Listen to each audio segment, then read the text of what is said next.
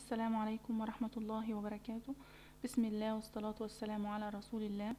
أهلا ومرحبا بكم أبنائي وبناتي. تلامذة الصف الأول الابتدائي. إن شاء الله النهاردة هنتكلم عن درس جديد من دروس مادة اللغة العربية. قبل ما نبدأ في الدرس بتاعنا النهاردة هنعمل مراجعة سريعة على ضمائر المتكلم. طبعا أنا عارفة إن كلنا شاطرين وفاكرين إن ضمائر المتكلم عبارة عن أنا ونحن. هنشوف دلوقتي مجموعة من الصور وهشوف مين الشاطر اللي هيقدر يختار الضمير المناسب لكل صورة. أول صورة معايا دي يا حلوين صورة ولد. ينفع أقول نحن ولد؟ طبعا لأ. الصح إن أقول أنا ولد. أنا ولد. هل معنى كده إن الضمير أنا لا يأتي إلا مع المفرد المذكر؟ يعني لو بنت عاوزة تعبر عن نفسها تتكلم تقول إيه؟ طبعا برضو تتكلم وتقول أنا بنت. الصورة التالتة اللي معايا دي صورة معلم. المعلم هيقول نحن معلم ولا أنا معلم؟ طبعا هيقول أنا معلم. يبقى إذا ضمير المتكلم أنا يأتي مع المفرد سواء كان مفرد مذكر أو مفردة مؤنثة. أنا سامع حد دلوقتي بيقول لي ينفع أقول على الشجرة أنا شجرة؟ طبعا ما ينفعش يا حلوين لأن شجرة ده دي غير عاقل ضمير المتكلم أنا يأتي مع العاقل. طيب دلوقتي بقى لو عندي أكتر من شخص يعني ولدين أو بنتين أو ولد وبنت أو مجموعة من البنات أستخدم إيه؟ طبعا هنا يأتي دور ضمير المتكلم نحن. زي قدامنا في الصورة دي عندي مجموعة من البنات ما ينفعش أقول أنا بنات. الصح إني أقول نحن بنات. الصورة التانية دي عندي أطباء مجموعة من الأطباء.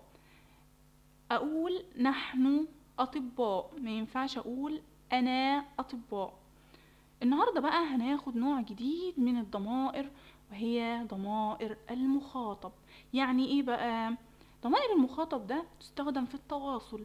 أما أجي أخاطب حد أتكلم مع حد يعني دلوقتي عندي الصورة دي زي ما أنتوا شايفين.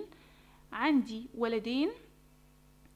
لو عايز واحد منهم يتكلم مع التاني ويقول له على حاجة معينة يقول له إيه؟ بيقول له أنت أنت أنت مهذب أنت جميل أنت وفي. طيب لو عندي ولد وبنت الولد ده عاوز يتكلم مع البنت اللي قدامه دي. هل ينفع يقول لها أنت بنت؟ طبعا ما ينفعش. طب هيقول لها إيه؟ هيقول لها انتي بنت انتي بنت. يبقى معنى كده يا حلوين إن ضمير المخاطب أنت يأتي مع المفرد المذكر وضمير المخاطب انتي يأتي مع المفردة المؤنثة. طيب دلوقتي أنا سامع حد بيقول لي أنا في أنت قرأتها أنت أنا هكتبها مد بالألف زي الشكل اللي قدامنا ده دلوقتي. طبعا هقول له ده مش صح ابدا والشاطرين ما بيعملوش كده. أنت بكتب حرف التاء وفوقه فتحة فقط وليس ألف مد. طيب البنت هتقول لي طب وأنا؟ أنا هكتبها بالياء. هقول لها طبعا غلط لأن أنتي بنكتب نكتب تاء وتحتها وتحتها كسرة. تاء وتحتها كسرة. نخلي بالنا من النقطة دي كويس جدا. أنت فوق التاء فتحة وأنت تحت التاء كسرة.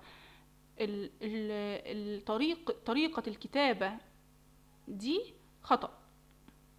ولا بنكتب بالألف ولا بنكتب بالياء. عندي دلوقتي بقى صورة بطريق وسمع حد كده شطور بيقول لي إحنا هنقول أنت بطريق. وأنت حصان. وأنت تفاحة. طبعا هقول له الكلام ده خطأ. أنت وأنت تستخدم مع العاقل تستخدم مع العاقل. دلوقتي هنشوف الكلمات اللي قدامنا دي نستخدم معاها ضمير أنت أم أنتي. أول كلمة معايا دي كلمة إيه؟ حلوين. أحسنتم. طبيب طبيب. ينفع أقول أنتي طبيب؟ لا طبيب ده مفرد طبيب ده مذكر.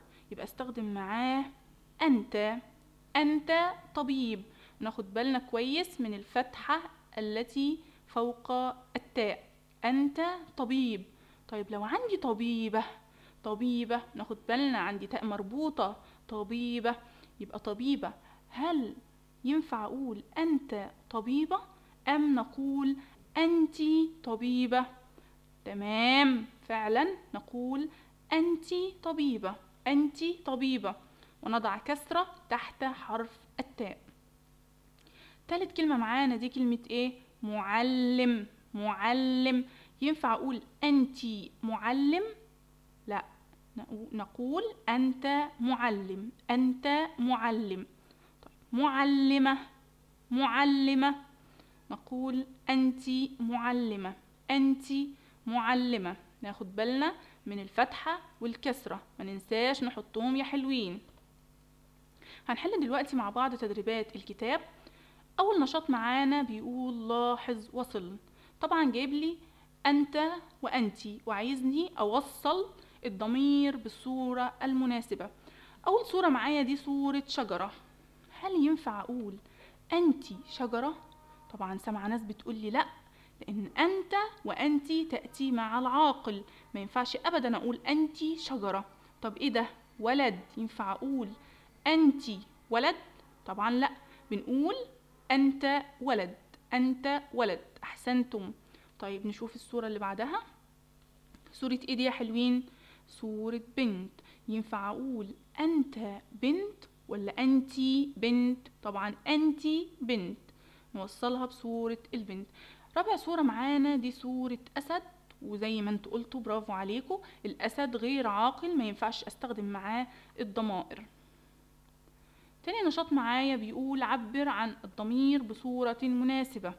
هنا بقى هنبدأ نرسم أي صورة أنتوا تحبوها للضمير. عندي أول ضمير أنت. أقدر أرسم معلم أقدر أرسم ولد نرسم اللي إحنا عاوزينه. أنا رسمت هنا معلم هقول أنت معلم أنت معلم. طيب تاني ضمير معايا وهو الضمير أنتي أنتي دي يأتي مع المفردة المؤنثة. يعني هرسم إيه يا حلوين؟ ممكن أرسم معلمة ممكن أرسم بنت أرسم طبيبة أرسم أي صورة تأتي مع ضمير أنتي مفردة مؤنثة. ثالث نشاط معايا بيقول لي رتب الكلمات لتكون جملا مفيدة. نقرأ كويس جدا أول كلمة معايا ولد أنت مفكر. ولد أنت مفكر. طبعا هنبدأ بالضمير يا حلوين وهقول أنت أنت ولد مفكر. أنت ولد مفكر. خلي بالنا كويس وإحنا بنكتب نكتب على السطر ونكتب بخط جميل. تاني حاجة بيقول متعاونة متعاونة أنت فتاة يبقى هبدأ بالضمير. أنت وأقول فتاة متعاونة. أنت فتاة متعاونة. شوف التدريب اللي بعده.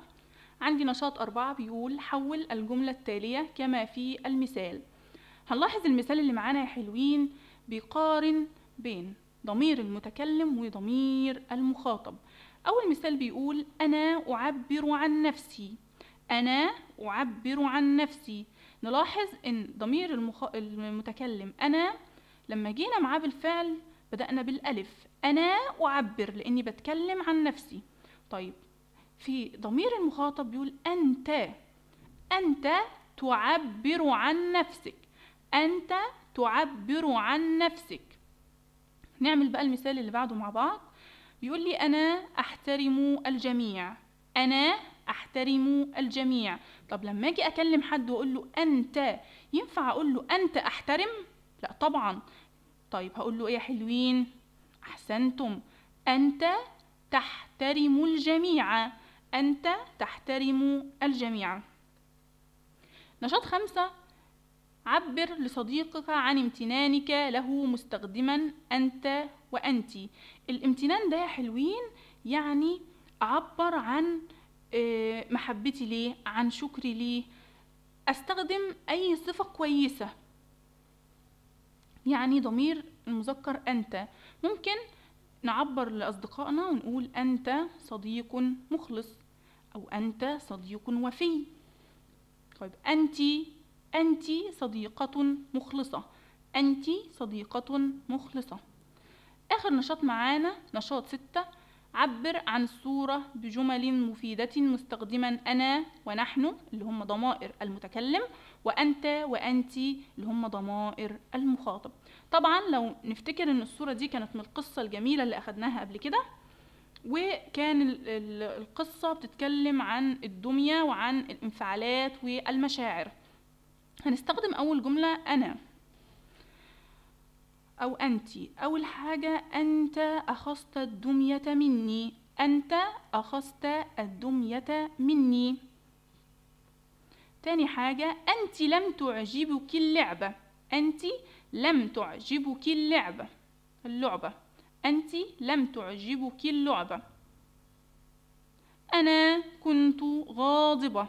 أنا كنت غاضبة. آخر جملة معايا. نحن نريد مصافحة الدمية. نحن نريد مصافحة الدمية.